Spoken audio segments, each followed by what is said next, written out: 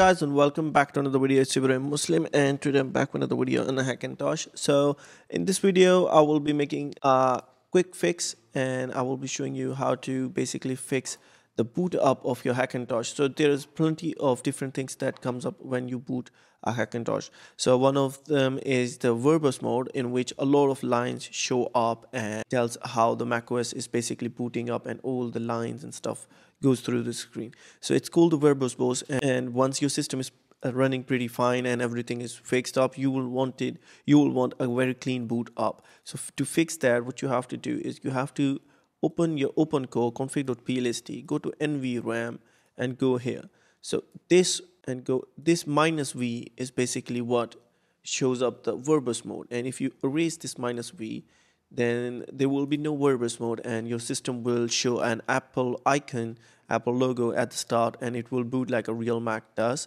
And then there uh, another thing on OpenCore is that takes and the time it stays on the OpenCore bootloader. So here is the time it uh, remains on the OpenCore bootloader. So for me, I have just selected one just to just in case I have to do something or I have to change the boot drive. So you can use zero if you don't want to go to Windows using your open OpenCore and you can also use zero if you have no errors and you have fixed everything and you don't want to go to open OpenCore at all. So this is the timeout. It will it is the time it takes or it stays on the OpenCore bootloader after the boot of the system itself. And in here debug this system report basically generate the log that you find in the EFI. If you turn this off, there will be no log. Then you have to select the target zero and target zero also means no log and system report and apple panic are the basically the stuff it will add in the target.